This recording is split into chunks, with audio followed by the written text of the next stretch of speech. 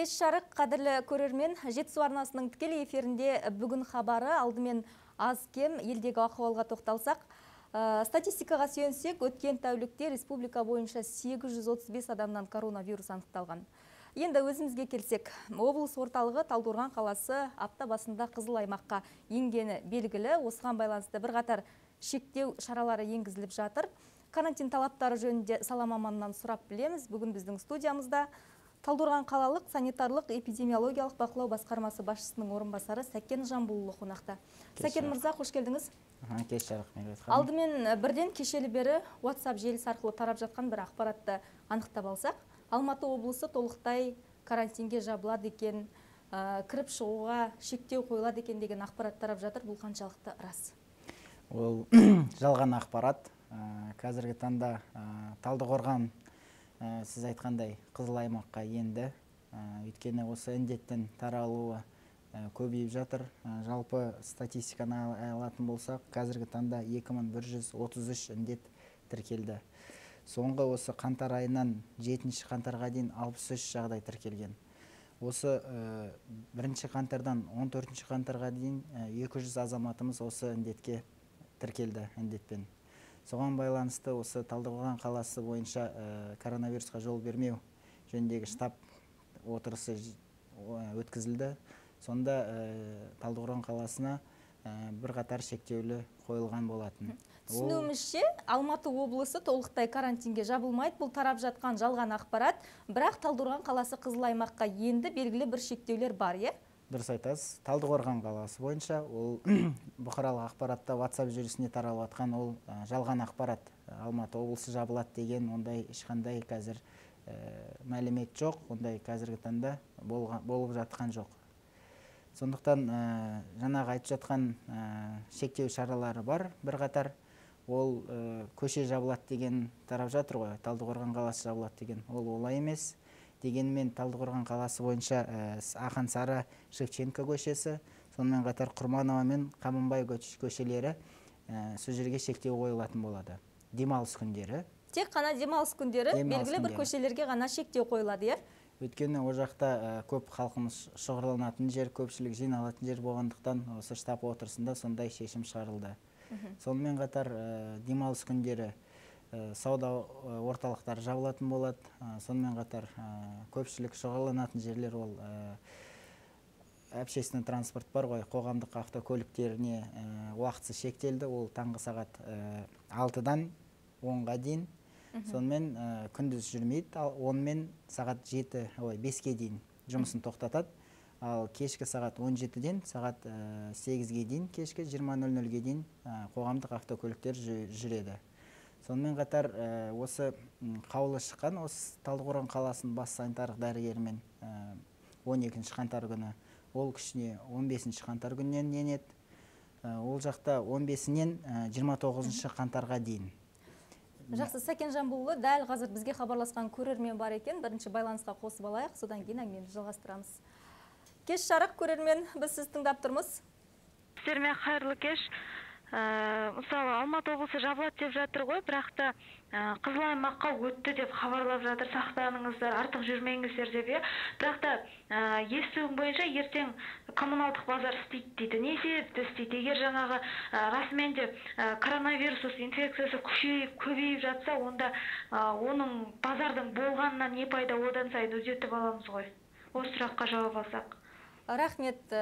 Ертең коммуналдық базар жұмыс істей ме әрине ол өйткені ә, тамақтану орта ә, тамақ алу ә, коммуналдық рыноктер бар ғой базарларымызға рұқсат берілген. Ә, дегенмен ертең біздің мобильный топ сонымен қатар біздің әріптестеріміз сонда жүреді. Бүкіл арақашықтық сақтау сонымен бет пердесін кию сондайлардың бәрін ә, қадағалап тұрады. Өйткені ол тұтынушылардың ә, адамға керекті заттар ғой. Ә, ондай азық түлік азық түлік нелерге иә? ондай шектеулер қойылған жоқ. Ал жалпы ә, тұрғын ә, жаңағы көрерменнің наразылық білдіріп жатқаны енді өзінің айтып жатқаны нағыз инфекцияның таралу деңгейі осындай адам көп шоғырланатын жерлерде болады ғой деп жатыр да. Бұны ә, ары қарай да істей бере ме дұрыс айтады. Оны енді қазіргі таңда оны ешқалай жаба алмаймыз ғой. Өйткені ол тамақ алатын жер болғанд- болғандықтан оған қазіргі таңда шектеуліміз тек қана осы сақтық шараларын ғана сақтау тәртібі қойылған қазіргі таңда. Жақсы түсінікті. Жаңа көрермен хабарласқанға дейін шектеу шараларын айтып жатқанбыз. Жалпы жаңа айттық қой талдықорған қызыл аймаққа енді деп. Жалпы қазір эпидахуал біздің талдықорғанда қалай?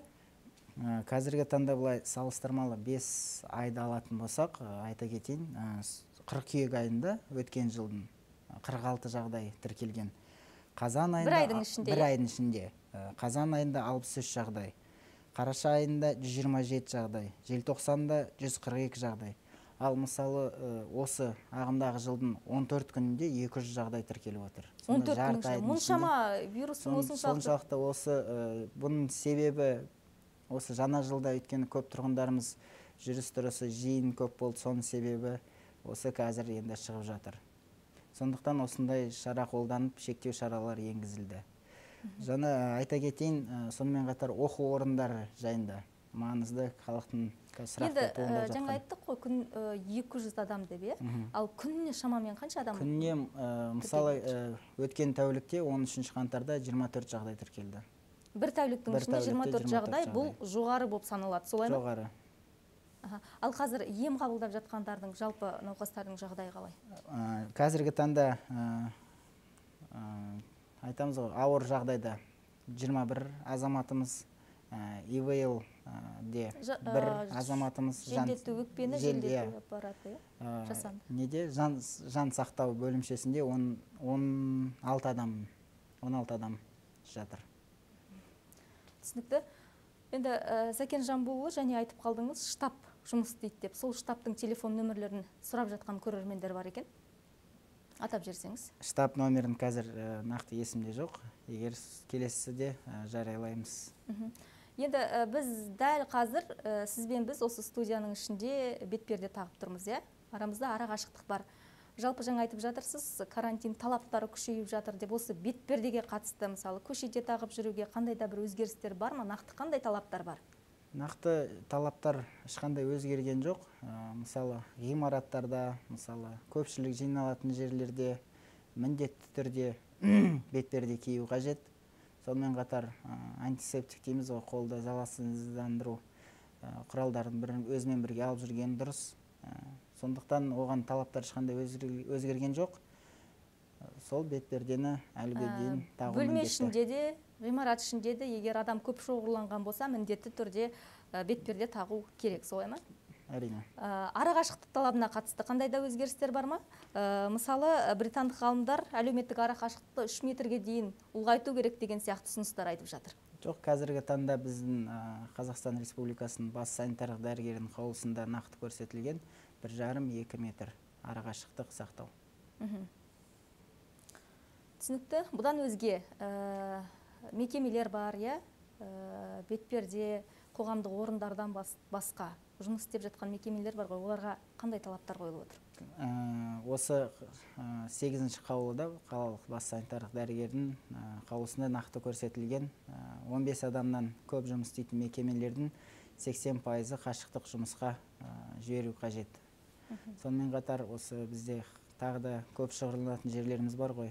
Банктер бар ә, халыққа қызмет көрсету орталықтары бар. Соларға ә, міндетті түрде тұтынушыларға ә, кірер алдында дене қызуын өлшеу сонымен қатар бетпердемен тек қана кіргізу сондай талаптар қойылған. Санитарлық дезинфекциялық мысалы қоғамдық көліктерде оның бәрі тексеріліп өз орнымен жүріп жатыр ма? Әрине өйткені ә, рейстің шығардың алдында дезинфекция жасайды сосын рейс аяқталған кезде ә, қайтадан жасайды. Жақсы түсінікті. Дәл қазір бізге хабарласқан көрермен бар екен. Сәлеметсіз бе? Ә, біз сізді тыңдап тұрмыз сауалыңызды қоя беріңіз. Не ғой ә, карантинде отыр енді. Карантин уақытында оқу жағы қалай болады соны айтып жібересіз ба? Иә өте маңызды сауал. Осы аптадан бастап бізде үшінші тоқсан басталған болатын иә. Республиканың өзге аймақтарында ә, кәдімгі дәстүрлі форматта оқып жатыр. Ал бізде қалай? Қазіргі таңда ә, 11 қаңтардан үшінші тоқсан басталу керек етін қазір ә, осы індеттің күшеюіне өршуіне байланысты оның уақытысын шегерттік 29 қаңтарға дейін. Мектеп жастағы оқушыларымыз университет болсын колледж болсын бәрі ә, ара қашықтықта онлайн режимде оқу керек. 29 қаңтарға дейін ә, бұл қала аумағындағы иә талдықорған қаласының аумағындағы барлық мектептер ә, Қашықтықта бұрынғыдай қашықтан оқу форматына көшті. Солай ма? Солай. Ал жалпы қазір бізде оқушылар арасында індеттің таралуы қандай? Ә, қазіргі таңда оқушыларымыздың арасында бар. Негізі күнделікті Балалар арасында. балалар арасында. Өйткені олар ата аналар ауырғаннан кейін міндетті түрде бір отбасынан бәрі тексеріледі ғой. Сондықтан балаларынан да індет шығып жатыр. Енді Оқушы- мектептердің мәселесі 29 қаңтардан кейін барып белгілі болады иә? Олар дәстүрлі форматқа өте ме жоқ әлде ары қарай да қашықтан оқи бере ма солай ма? Әрине ол қазір эпид ә, обстановка дейміз ғой эпидахуалға байланысты ары қарай көре жатармыз. Қазіргі таңда осы ә, мақсат бізде 14 күн ол инкубационный период. Соны ә, күтеп күтіп шыдап егер сақталып ә, осы көрсеткіші төмен түсетін болса онда міндетті түрде оқу орындары ашылады. Әзірге бәрі қашықтан оқып жатыр иә солай ма? Ал ә, спорттық нысандар үйірмелер өзге де жұмыс істеп тұреді ғой бізде. Жаңа қоғамдық монша деген сынды бассейндердің жұмысы ә, оларда өзгеріс бар ма? Әрине бар. Демалыс күндері ә, қоғамдық моншалар ә, спорт кешендері ә, фитнестар солардың бәрі жұмыстарын тоқтату керек болады. Тыйым салып отырсыздар иә? Жақсы дәл қазір бізге хабарласқан көрермен бар екен. Байланысқа қосайық. Алло саламатсыздар ма? Сәлеметсіз бе? Аха сіздерге сауалым бар еді. Мына көп шоғырланған қоғамдық орындарда адамдар маскасыз жүреді алда ана сайлау өтті ғой артта. Сода да маскасыз жаңағы больницаға барсаң да маскасыз жүргендер көп. Соны бір қадағалап жатқан ұйымдарыңыз бар ма? Рахмет. Ә, өте маңызды сұрақ. Негізі бізде ә, алматы ә, талдықорған қаласында ә, сегіз мобильдік топ құрылған жергілікті әкімшілікпен олар күнделікті мониторинг жүргізеді. Осындай көп шоғырланатын жерлерге осындай сақтамаған жайлар болса карантин режимін то міндетті түрде әкімшілік хаттама толтырылатын болады. Осы мына кешіріңіз сөзіңізді бөлейін. Мына осы 12-сінен бері қаулы шықты ғой. Содан бері мына бетпердесіз жүрген адамдарды көшеде болсын қоғамдық орында болсын айыппұл салынып бір жауапкершілікке тартылған жағдайлар бар ма фактілер қазіргі таңда ә, жергілікті полиция басқармалары ә, материал жинап ә, ол хаттаманы бізге жолдайды. Онда әрине бар толтырылып жатыр. Дегенмен әр азаматымыз осы талдықорған қаланың осындай індетке қарсы тұрам дейтін осының талаптар сақталсын деген азаматтарымыз осындай ә, карантин режим бұзылып жатқан жерді куәгері болатын болса міндетті түрде сол жерде тұрып 102 телефонына тел, ә, қоңырау шалып ә, бүкіл мәліметтерді айтып жариялауға болады. Сонда полиция басқармалары сол жаққа барып әкімшілік хаттама толтырылады. Ал ә, дәл қазір бізге хабарласқан көрермен бар екен. Кеш жарық. Алло тыңдап тұрмыз. қазіргі қазіргі таңда мысалы орталықтарда мысалы клуб солар мысалы қалып мысалы жұма намаздарына мешіттерде қашан рұқсат беріледі? Қандай клуб жұмыс істеп тұр? Мысалы кейбір мысалы отыратын мысалы кафе кішігірім солар ашық қой ал енді мешіттерде мысалы жамағат болып жұма намазына қай уақыттарда рұқсат беріледі? Рахмет сауал түсінікті ау деймін иә сұрағыңызға өте рахмет. Ә, қазіргі таңда негізі осы 11 қаңтарға дейін 15 қаңтарға дейін мешіттерге алматы облысы бойынша рұқсат берілді ғой. Тек шектеулі қойған жұма намазға. Өйткені бәріміз мұсылманбыз өзіміз білеміз жұма намазға жығынған кезде арақашықтық сақталмайды. Сондықтан соған ғана тек шектеулі қойылған. Негізі ә, осы 15-іне дейін жалпы алматы облысы бойынша мешітке елу адамға дейін 30 пайыз сыйымдылығымен жұмыс істеп жұмыс істеген. Қазір ме- мешіттердің есігі ашық иә? Есіктері әрине ашық. Оған тек қана жұма намазға ә, шектеулі қойылған. А қалған жал- жалпы ме- ә, мешіт ашық. Енді сұрақтың жалғасы болсын. Алда 19 қаңтар келе жатыр иә? Ә, белгілі мереке. Оның белгілі бір ә, жасайтын жоралғылары бар. Суға түсу деген сынды. Оларға қалай? Рұқсат бар ма жоқ па? Оған қазіргі алматы облысының бас санитар дәрігерімен ә, нақты алгоритм жасалынған рұқсат берілген. Ә, церковь дейміз церковьке шығынатын өткенде өзіміз жиын өткізіп кездесіп ә, бүкіл кіретін жерінен шығатын жері қанша халықтың жиналатынын санын біліп өткен жылда өткен жылмен салыстырмалы түрде. Сол жақта бүкіл талаптар қойылды. Шектеу талаптары емес но сақтану талаптары та- э, қойылды. Арақашықтық бетперде ә, жиылып тұрмасын деген ол ә, церковьке бақ- м, қатынасты. Ал егер алады ә, мынау көшеде суға түсуді айтатын болсақ ол жақта ә, сол түні 18-нен 19-на қараған күн түні ә, полиция қызметкерлері ә, чс қызметкерлері дәрігер қызметкерлері сонда ә, осы режимді талаптарын сақтау жөнінде қадағалайды жақсы ә, біздің де хабарымыздың аяқталуына санаулы секундтар қапты онда соңғы сауал болсын. Ә, мына вакцинаға қатысты қазір белгілі бір ә, нәтижелер бар иә? Егіп салып жатқандар бар. Бізде қандай нақты бір жоспарлы түрде қазір міне осындай уақыттан бастап вакцина егіле бастайды деген сынды ә, ақпарат бар ма?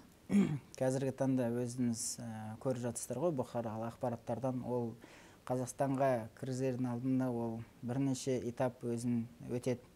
Ә, сол ә, алатын вакцинамыз нақты ә, тәжірибеден өтіп дәлелді болатын жағдайда ғана ә, қазақстан азаматтарына егілетін болады. Қазіргі таңда ол ә, зерттеу барысында. Нақты қай уақыттан бастап вакцина қабылдайтынымыз әзірге белгісіз ба әлі белгісіз. Но ә, оны ә, нақты осы шешімі шығады ғой. Ә, тәжірибесі өткеннен кейін уже жарияланады. Жалпы осы 12 қаңтар күні ә, бас санитардың ә, қала бойынша бас санитар дәрігердің қаулысы шықты дедіңіз иә? Біз айтпай кеткен нақты ә, тұрғындар ескеруі тиіс мәселелер болса астын сызып айта кетіңіз сонымен хабарымыз түйіндейік қазіргі таңда осы ә, көпшілік айтып жатқан ә, бұқаралық ақпараттардан нақты осы ресми сайттарымыздан көруге ұсынамыз. Өйткені көптеген азаматтарымыз мүмкін түсініспеушіліктен қарап ә, осы талдықорған жабылады деген мәлімет тарап кетті. Ол мәлім ә, өтірік мәлімет. Оған сенудің жалған мәлімет сенудің қажеті жоқ. Тек орталықтағы ба, жаңа айтқан көшелер ғана шектеулі қойылады. Сонымен ә, осы талдықорған халқының тұрғындарына қонақтарына сұрайтынымыз осы талаптарды сақтауға шақырамыз. Өйткені қазіргі күні күнделікті ә, осы індеттің көтерілуі өте өршіп бара жатыр. Сондықтан денсаулығымызға сақтанғанды сақтайды. Ә, белгілі бір талаптарды сақтаңыздар демексіз ғой. Сәкен жамбылұлы облыс орталығы талдықорған қаласына қатысты толыққанды ақпарат бергеніңізге көп рахмет. Сізге рахмет. Қадірлі көрермен осымен тікелей эфирді аяқтаймыз. Келесі эфирде жүздескенше аман сау болыңыздар.